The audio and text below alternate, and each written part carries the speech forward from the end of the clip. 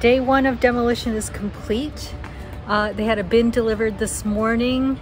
Um, they've been filling it and you can see there's about that much stuff in it. I'll go and take you inside and show you what they've done.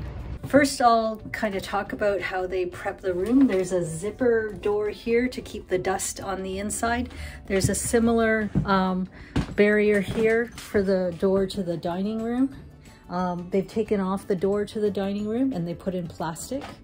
Um, and the door to the nook, um, they put up a cloth barrier um, it wasn't as important to protect the this room from dust because we're going to be uh, changing the floors in there and we've given it to them as a staging area. Um, they put up plastic on the windows and plastic on this window as well um, let's start from the bottom and go up. And so this is the floor. This is the, the floor that we had in here. Um, it's eventually going out. The reason that they left it in is because we just have the floor joists underneath running at a diagonal. You can see that here under the plastic. Uh, oh, they've stapled it down, but you can take a look at that diagonal there. Um, and so if we took that out, all of the dust would fall down into the basement because there's no ceiling in the basement. And so they've kept that um, to keep the dust down there, but also um, this floor is going away anyway, so there's no need to protect it. Um, so that go there's the floor. It's interesting to note that um, this floor doesn't go all the way to the wall. Um, this is one of my complaints about the past, um, the last reno. Okay, let's talk about the cabinets. The cabinets came out. That was probably the easiest part of the job. Um, they used uh, drivers and they unscrewed all the doors and took the carcasses outside. Um, they've taken out the sink. They've cut out the connectors. Um, there's a chimney uh, or yeah, a chimney there for the sink so that you can vent to the outside and also a drain. Um, they've cut that off. It's going to be replumbed. It's going to be, the sink is going to be in the same location, but it's going to be replumbed.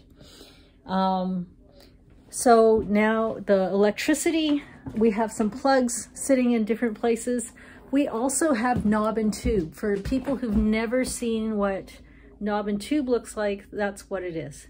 Um, it's, it's none of it is live, it's all dead. So they're safe touching it. There's a little bit of concern. Um, and then they took off the plaster. Uh, plaster is heavy. This is the lath. This is the uh, kind of construction that they did in the 1920s. So they would put the, this lath and they would up, apply the plaster to it. So it's lasted 100 years. Maybe not exactly 100 years, but close to it. It would there's no reason why it wouldn't have kept on going. There were cracks in the plaster, and in some places, um, it was being held up by wallpaper, um, which helped it come out in pieces.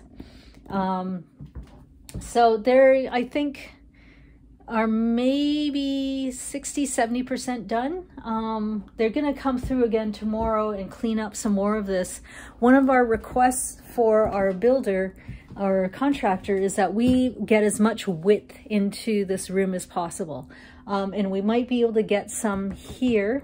You can see how far back you can see how far, how thick the plaster is. We might be able to step it back that much and then a little bit from the lath.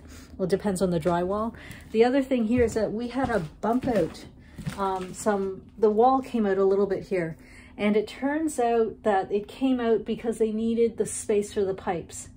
So we'll probably have to preserve that space for the pipes, but we're gonna see if we can buy that space in a different way. Um, and also, this is lath, and then this is double brick construction. So this is one brick, an air gap, and, an, and the exterior brick to the house, typical of this era. Um, we're going to open this up and see what we can get in there and see what's the best way to get some insulation.